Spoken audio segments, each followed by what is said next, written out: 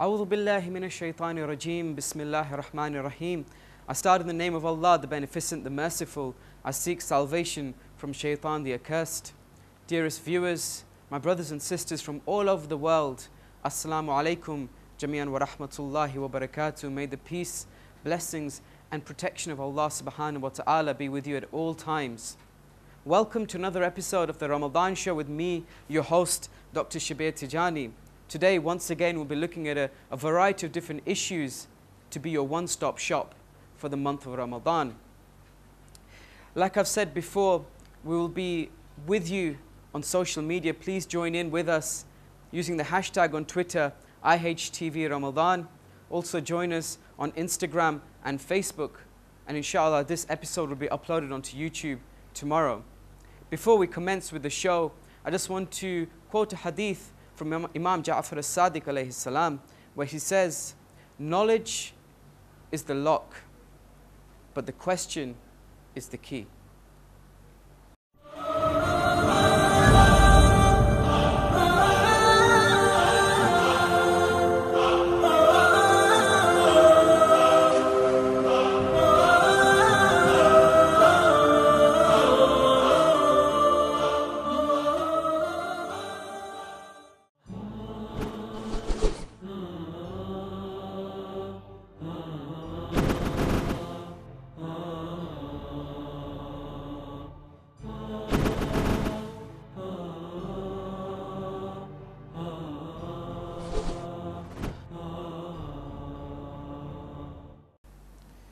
This episode, the specific trait that we'll be focusing on for the spiritual refinement part of this episode is jealousy.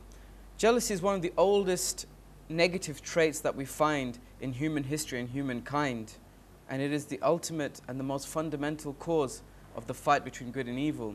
After all, it was Iblis who in the heavens said to God that, How can you make me bow down to Adam?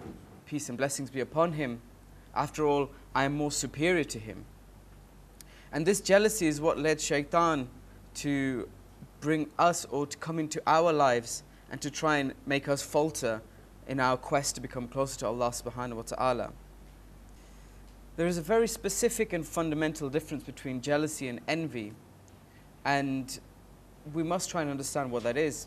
Jealousy essentially is when someone ha else has got a specific trait or a specific quality, or they have something which they have within their means that you would like yourself to have and for them not to have. However, envy is when they have something and you wish that you could have the same thing too. Now, the Holy Prophet, peace and blessings be upon him, has said, Jealousy eats an iman, a person's iman, in the same way fire eats away at dried wood. So, as you can see, it is a very, very burdensome disease of the soul. However, there are many things we can do and ways in which we can lead our lives to try and avoid becoming jealous. And there's some practical steps that I will now tell you, ways in which you can start contemplating, thinking, philosophizing in order to make sure that this disease of the soul does not affect you. Firstly, we must try and understand what the causes of jealousy are. I have come across six qualities that would be the precursor to someone becoming jealous. The first one is enmity. The second one is weak faith or weak iman in Allah subhanahu wa ta'ala. Thirdly, pride and arrogance plays a huge role in the beginnings and the fundamentals of jealousy. And then there's the desire for power and materialistic things in this world. And that can be something that makes someone jealous. Next, it's a, a bad intrinsic nature. So if you're intrinsically have bad qualities, or if someone else has intrinsically bad qualities, they're more prone to becoming jealous of those around them. And finally, it's the harsh heart. Someone who's committed sins or who has specific traits due to which their heart has become cold and harsh tends to become more jealous of those around them. Now we will talk a little bit about how to overcome jealousy. Obviously, jealousy being one of the most one of the worst traits that a, a human being can have, and is one of the causes why there's a lot of breakups of relationships in society, why there is a lot of problems in society, because greed causes jealousy. And once someone gets jealous, they want bad for others around them and good for themselves, and therefore that causes a decline in society and a breakup of the fabric of, social, of, of society and, and social uh, um, interactions. So, how can you overcome this negative trait? Firstly, you must try and understand that Allah subhanahu wa ta'ala and the Ahlul Bayt alayhim salam, they despise this quality, the quality of jealousy in a person's heart, in a person's being, in a person's soul. And if you can acknowledge, if you do have this trait of jealousy within you, the first step, like dealing with any other negative trait, is to try and acknowledge that actually this is a disease that you have within your soul and thereafter you can start to deal with it. A practical step to try and get rid of jealousy is to try and interact with the person that you're jealous of. Try to help them in whatever way you can. And try and understand why you're jealous of them. For example, if you're jealous of someone for whatever reason, try to praise him or her and try to make them feel more elevated and so that you do not feel jealous of them anymore. Initially, this is quite hard to start off with, but once you start doing it, you realize that actually it increases the humility within yourself and lowers your arrogance and your pride, as well as giving the other person more self esteem, more self confidence, and bringing them closer to you, creating a sense of brotherhood or sisterhood. Thirdly, remember that on the day of judgment in the hereafter, Allah subhanahu wa ta'ala doesn't look at your physical state. He doesn't look at the status that you received in this world. He doesn't look at the materialistic gains that you acquired within your life. He looks at the purity of your heart, the sincerity of your soul, the niyyah and the intention for all of your actions. And after this, He will make His judgment. Therefore, always have this in mind and plan to cleanse your soul from any diseases, and the worst of diseases, jealousy being one of them. The Holy Prophet, peace and blessings be upon him, said, There is a morsel of flesh in the body. If it is rectified, the whole body is rectified. And if it is corrupt, then the whole body is corrupt.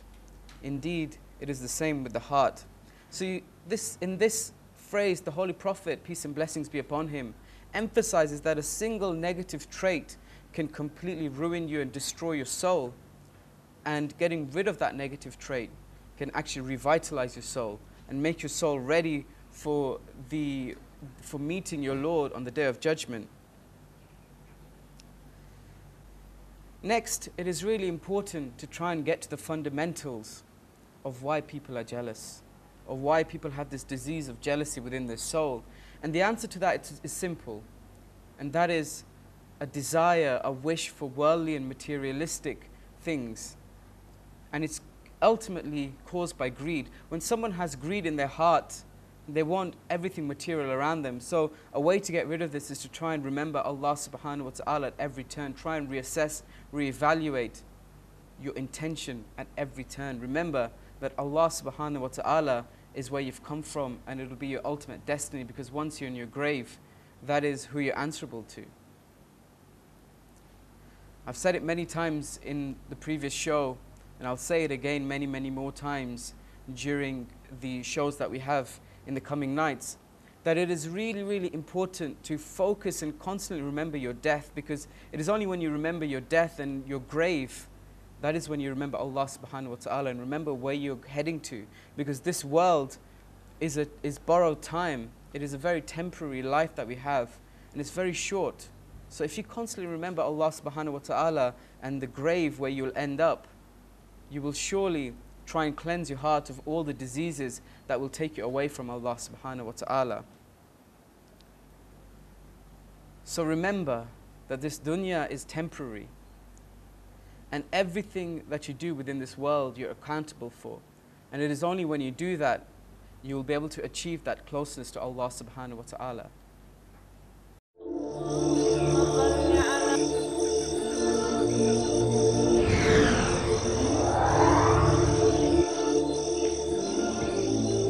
It has been narrated upon the authority of Imam al-Sadiq, may the peace and blessings of Allah be upon him.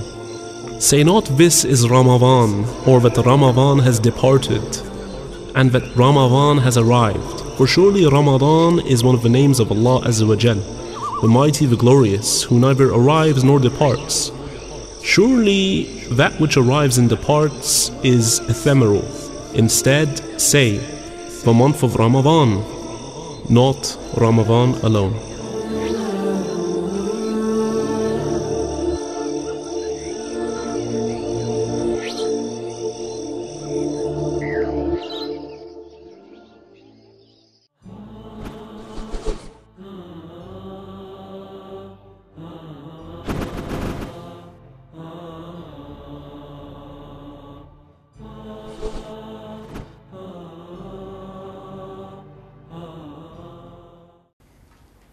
This segment of the show, we look at how people from around the world prepare their day to day lives for the month of Ramadan. And today, because we're going to be talking about the heart of our spirituality, I wanted to focus on the heart of the Shia world, which is Karbala.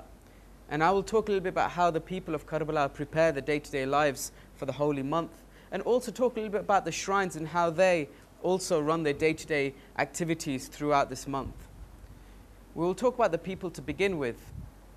The people here in Karbala, because it's so hot, they tend to, if they can, try not to work during the hottest parts of the day. So the hottest parts of the day are around midday. And if they can, the laborers especially, they try to work through the night after the iftar time so that during the daytime they can rest as much as possible. However, for some people that is not possible, for teachers and for doctors, for other people who cannot postpone their work to other parts of the day, they have to continue working. The Iraqi people are nat naturally very giving, so what they will try to do is try and host other people for iftar and give them as much as they can. So whether it's a date or just a glass of milk, they will try and give them food and water and sustenance during this month in any way, shape or form that they can. Now moving on to the shrines, as you're aware that in Karbala we have the shrine or shrines of two of the greatest personalities in Imam al-Hussein alayhi salam and Abu al-Fadl alayhi salam. And their shrines were in a very, very routine cycle of events during these days, throughout the 30 days of uh, Ramadan. So typically in the morning after Salat al-Fajr, they would have Ziyarat Ashura in both shrines. And then at Dhuhr, or after Salat al-Dhuhr, they would have the recitation of the Holy Quran this recitation you can hear live on Imam Hussein TV. Followed by this, during iftar time, families would gather in Bain al-Haramain, they would eat the iftar and try and share it amongst each other, each other and share it amongst the passers-by as well because this is a month where people come together, where they show love towards each other.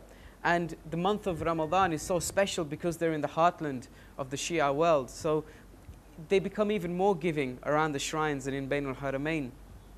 And finally, after Maghrib Salah, there is dua, dua iftitah in both shrines as well as in Bain al-Haramain and people tend to join in these du'as. And these du'as you can also catch on Imam Hussein TV.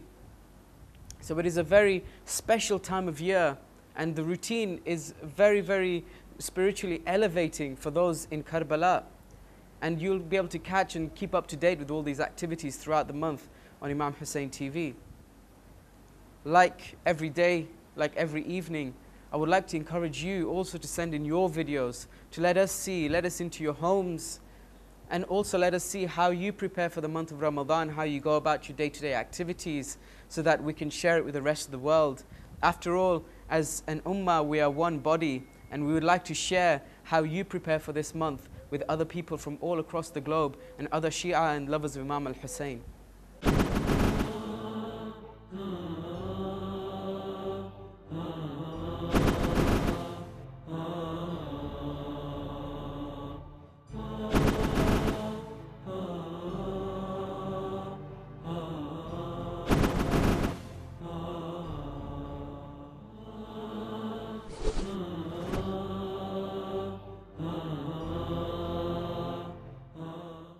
Brothers and sisters, I hope that the holy month of Ramadan have been so beneficial to you so far. I hope that you have been using and been blessed with the blessings of this holy month. And do not forget us in your prayers. And do not forget to pray for the hastened reappearance of Imam of our time, Imam al Mahdi. May Allah hasten his blessed reappearance. Wassalamu alaikum wa rahmatullah.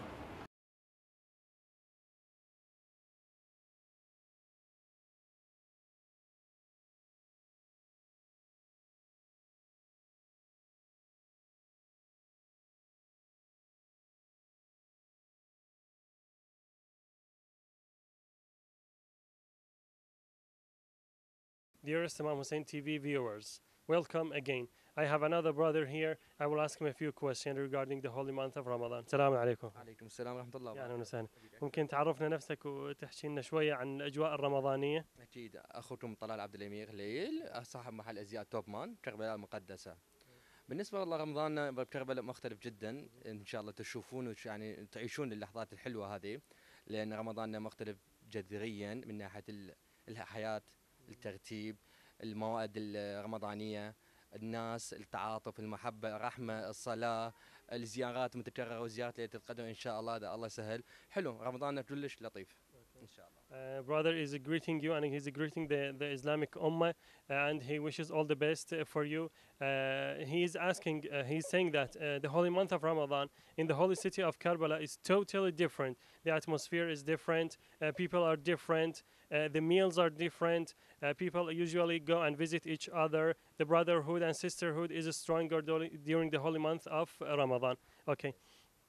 آه، إقبال الناس شلون على على المجمعات على التبضع خلال شهر رمضان والله التبضع ممتاز جدا لأن من ناحية ال- حالة الحركة وتعرف الأيام العيد المبارك إن شاء الله إذا الله سهل يكون إقبال على الأزياء ملابس أطفال رجالي نسائي هذه فرحة تكون فرحة غامرة لدى الأطفال خاصة لأن أيام العيد مميز جدا. من ناحية إقبال على العيديات إقبال على الملابس إقبال شيء تغيير شيء جديد. من بعد الامتحانات وبعد العطلة فالشيء هذا مقبول حلو جدا. إن شاء الله. Uh, brother is saying that uh, uh, because uh, the, the the holy Eid of Eid al-Fitr is so special here in, in in Karbala and in Iraq in general, and especially for the children. Uh, after uh, doing the exams, as you know, the children are doing the exams before the holy month of Ramadan, and during the fast days they are waiting for the Eid to come and shopping and, and to renew their their clothes.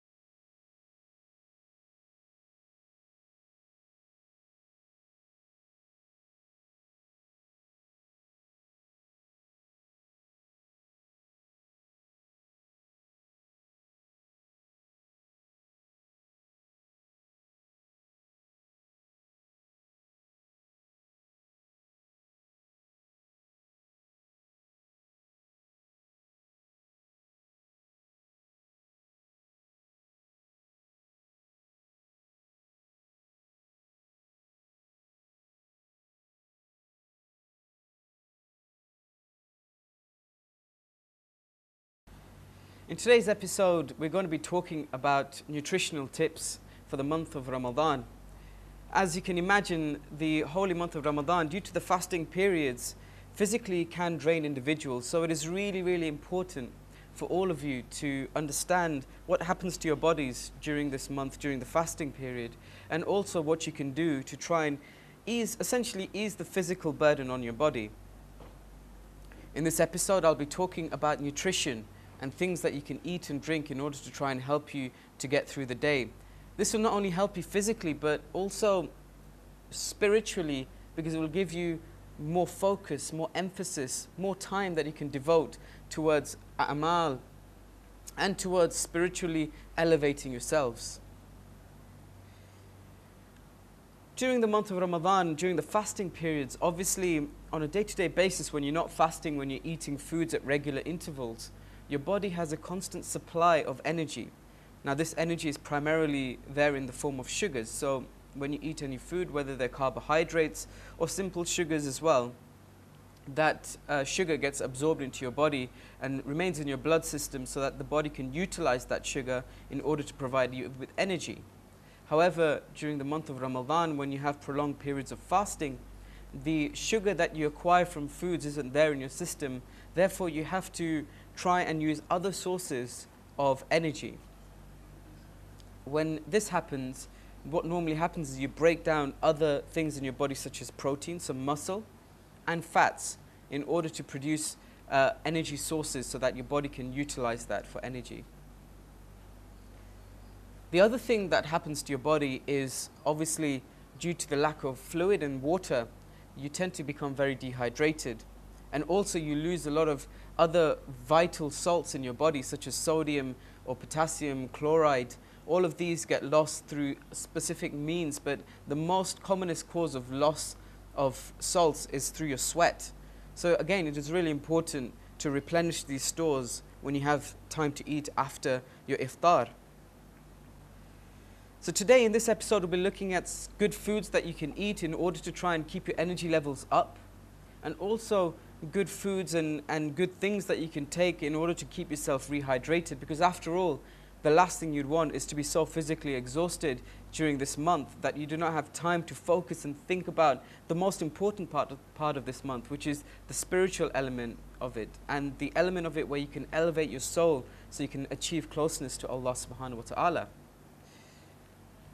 Now, during the time of iftar, obviously in different countries, the period of fast and the period of being able to eat differs from place to place, region to region, country to country.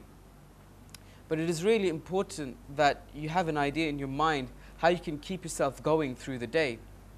Now, where I'm from, which is the United Kingdom, because I'm a, I'm a doctor there, I get a lot of patients who ask me, ask me about the month of Ramadan, firstly, whether the prolonged periods of fasting are physically, a, a, human being is physically able to fast for that period of time. And secondly, if they do fast, what they can do in order to make the most out of their day so that they're not hungry and so thirsty, so dehydrated for the whole period of the day.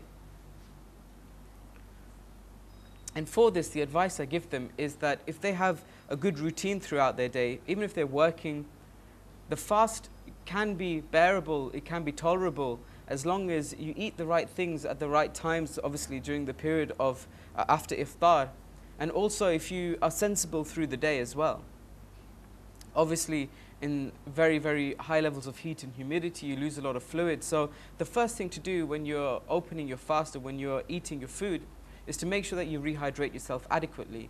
Now, there's many uh, theories out there on how to rehydrate yourself effectively. Some of these include sports drinks or other rehydration solutions.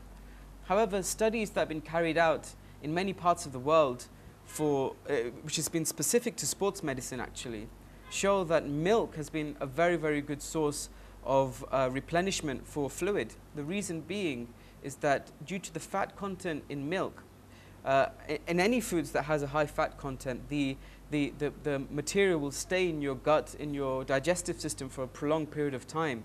So what happens during this period of time is that the water is slowly going into your system over many, many hours rather than it being uh, sent, put into your system during a very short period of time. So during this period of time, the first advice I'd give you is try and drink some milk during the periods of eating and drinking. Secondly, as I mentioned before, you do lose a lot of energy stores, such as sugars. Now, a lot of people think that the way to replenish these stores are to eat lots of sugar when you're opening your fast. In fact, it's on the contrary, because what happens when you do this is that you have a spike of sugar in your blood system, and as a result, you have a spike of insulin in your system. And what insulin does is that it absorbs the glucose, the sugars, into your cells very, very quickly so it doesn't remain in your blood system for a prolonged period of time. And once that sugar is gone, then you don't have anything left in your system. The way that you can overcome this issue is to concentrate and focus on specific types of food in order to give you a prolonged burst or prolonged supply of sugar in your system. So the, the best food to eat in this situation is complex carbohydrates, so things like rice and pasta. The reason being that because the, the, the molecules are quite complex, it takes time for your gut to digest these. And as a result, these slowly get absorbed into your system over a prolonged period of time. So they keep you energized for a longer period of time and the sugars get into your system rather than having spikes of sugars, you get a more, more prolonged, slow release of sugar into your system. It keeps you energized for longer periods of time. The other thing that I mentioned is loss of salt. Obviously, it's very, very important. Salts are essential for our body because without these salts, uh, organs such as our heart and our brains will not be able to function the way that they do. So it's very, very important for you to replenish these stores regularly after you have your iftar. Now, the hadith of the Holy Prophet, peace and blessings be upon him, show us that it is very, very good to open your fast with a, with a pinch of salt or a taste of salt. And there is actually scientific basis behind this because salt, which usually exists in the form of sodium chloride, is the most commonest thing. Those are the most commonest salts that you lose through your sweat. So by having some salt when you open your fast is actually very good for you. And what it does is it very, very quickly replenishes those stores of lost salts. Finally, the last thing I want to focus on is other types of foods that would be good to eat during this this month of Ramadan. Reason being is that it is a very unique month, not only spiritually and obviously Allah subhanahu wa ta'ala opens his doors of mercy to you during this month, but also physically it is a very testing time. It can be a very testing time for individuals, but also your body does not go through this routine on a day to day to day basis for the rest of the year. So it's a very new thing for your body to try and get adapted to. And as a result, your body goes through many changes during this month your met metabolic rate changes, and the way that you deal with specific foods that get put into your system also changes. So you have to try and adapt that and change what you eat to try and uh, uh, counteract for that. So specific foods that you can eat or focus on during this month especially are the lighter foods. So like the hadith says, it is very important not to overeat when you're having your iftar, not to overfill your stomach with food. It is important to drink plenty of water, but also to leave some space in your stomach because if you overeat, not only do you feel sluggish and bloated, but also affects you spiritually because that person who has a full stomach all the time cannot uh, gain spiritual elevation because they're so focused on trying to digest that food and they're so burdened down by it that they don't have time to focus on anything else. So really important not to overeat during this month. So my tips to you are to try and take foods that are light, such as soups, to open your, open your fast with, and also utilize the, the, the gifts that God has given you in the sense that the natural fruits and vegetables that we have, the fresh fruits and vegetables, try and have those because, again, they have a good supply of sugars in them, and also they have other vitamins and minerals that will be very useful to you to keep you going through the day because not only do you lose uh, specific um, uh, sugars, salts, fluid, but also it is important to replenish the stores of vitamins and minerals because during the day, whilst you're not eating regularly, you're not getting that regular supply of vitamins and minerals. So you need to make sure that you replenish those in, in, in the time that you have for eating. Finally, I'd just like to finish on, uh, on these last words. It is really important to remember that every food that you receive, anything that you eat, is a blessing from Allah subhanahu wa ta'ala. This may be slightly diverting from the topic of this specific talk, but remember those brothers and sisters around the world who do not have food to eat and do not have water to drink because they even fast. And whilst you're eating your food and drinking your, your water or whatever drinks you're drinking, remember them. And it is really important, like I said before, not to overeat. Remember not to waste food. Because surely for the food that you waste, it is someone else's meal, someone else's food that you're actually throwing away. So remember those who are in need. And surely if you do that, you'll be more sensible about the way that you eat and about the things that you eat. The sermon continues by several instructions. O people, Prophet Muhammad wasallam states, O people, the gates of heaven are open in this month, the month of Ramadan. So ask your Lord not to close them. The phrase, the gates are open, the gates of being open, has at least two meanings. Number one, the chance of someone entering heaven in this month is higher and greater than the rest of the months across the years, across the year. Number two, due to the openness of heaven's gates, all kind of divine mercy in heaven are ready to encompass the, the servants in this world, we see that Allah subhanahu wa ta'ala, these make the sleep and breaths of the faithful in the month of Ramadan like the inhabitants of heaven, glorification of Allah and worship. Although the gates of heaven are being open, the Holy Prophet warns people that if they do not appreciate this great opportunity, subsequently Allah the Almighty will close them. The situation of the gates of heaven, sorry, the gates of uh, fire, are quite the contrary. Prophet ﷺ states, and the gates of fire are closed in this, in this month, so ask your Lord not to open them. Along these lines, the condition of Satan's are described as follows, and the Satan's and, and Satan's in, are in chains, so ask your Lord not to dominate them over you. Although Satan and his assistants are chained up in this month, the month of Ramadan, committing sin results in releasing them.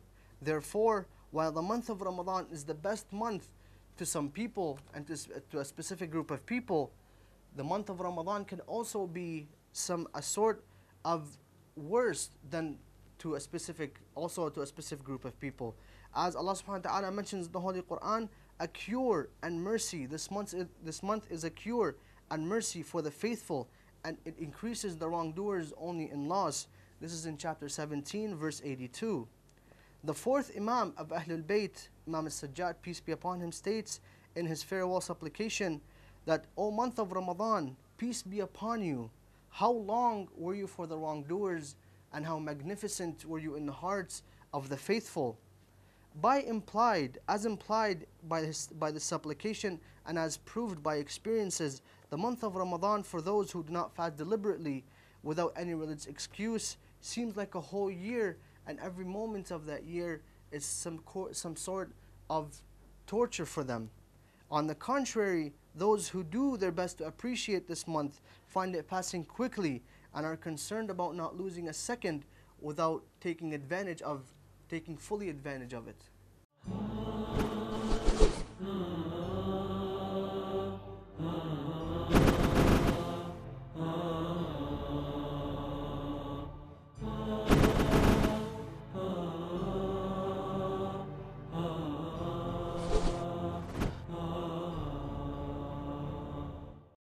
For this episode, I would like to dedicate the poetry, the recitation, to the person, the individual, the personality who is the foundation of our religion, whose name beats in all of our hearts, who is the ultimate savior of humankind. I want to dedicate this to Imam al Hussein alayhi salam. This poetry is called I Will Come Crawling to You Hussein, and it was written by myself and my brother Abbas. And it was written around the time of Arba'in when so many of the Zawar were heading towards Imam al Hussein and we were left behind in our country. And this is our way of expressing our grief and remembering Imam al Hussein. Every day it cuts me inside. I'm so very far from your side. I would give away these eyes just to catch a glimpse of your shrine. If I had to cross the seas and every desert in between, I will come crawling to you, Hussein. I will come crawling to you, Hussein. They can cut my arms and my legs. They can take everything that I have. I will come crawling to you, Hussein. I will come crawling to you, Hussein. I can tell you that I'm insane in the love of my master Hussein. In this universe, there's no pain that can ever keep me away. Every inch that I come your way, every beat of my heart will say. I will come crawling to you, Hussein. I will come crawling to you, Hussein. You just have to look at this world and see your lovers are tortured and hurt. They can use their tanks and their guns. We will stand together as one. They can tear us limb from limb, but our souls will save from within. I will come crawling to you, Hussein. I will come crawling to you, Hussein. They can put a gun to my head. They can threaten to shoot me dead. They can wound me till I'm red. They can try to kill me in jet with my every remaining breath, with every ounce of strength I possess. I will come crawling to you, Hussein. I will come crawling to you, Hussein. They can cut my arms and my legs. They can take everything that I have. I will come crawling to you, Hussein. I will come crawling to you, Hussein.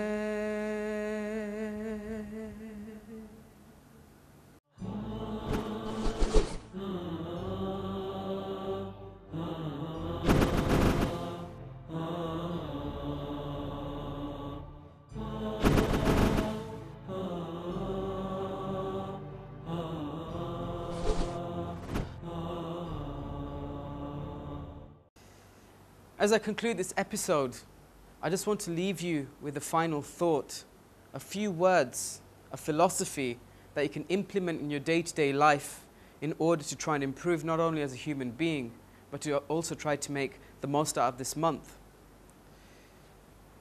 What I want to say, the final philosophy that I have, is that an ocean of water cannot sink a ship unless the water enters the ship no matter how vast the quantity of the water is, or no matter how strong the current is. In the same way, negativity cannot affect you unless you let it inside you. The reason why I think this is a very important saying or a very important philosophy to try and implement is that positivity is a good start, it's a starting point for ibadah, for good actions.